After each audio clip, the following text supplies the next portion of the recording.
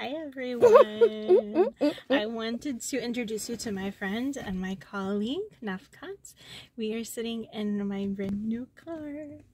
Yes, we are, and uh, we are so uh, thankful for this car because it has expanded our horizons and our possibilities. So we just wanted to say a quick thank you to all who have contributed for this to be possible because we are just back now uh, from a small village that is called Ait Amira.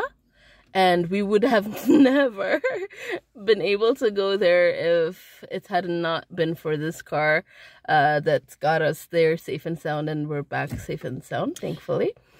Uh, you want to say one? Yeah, in fact, we're traveling around the country. Mm-hmm. Um, it's part of one of our goals to visit all of the volunteer teams who are doing refugee migrant ministry um, mm-hmm. in our churches. So we have nine different teams, mm-hmm. and we are um, trying to visit all of them in the next few weeks. And so we are now on our third site visit.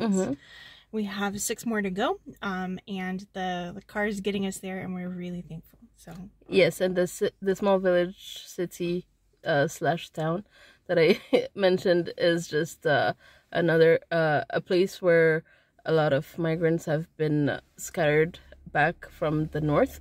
Agadir is in the south, and Ait Amira is even souther, I think. Mm-hmm. So yeah, thank you so much for everyone, and God bless you. Yes, amen. Bye. Thank you. Bye.